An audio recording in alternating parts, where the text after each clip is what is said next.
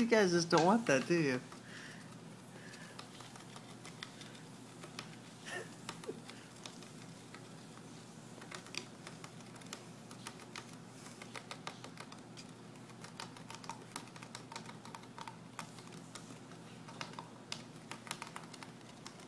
NES, it's back.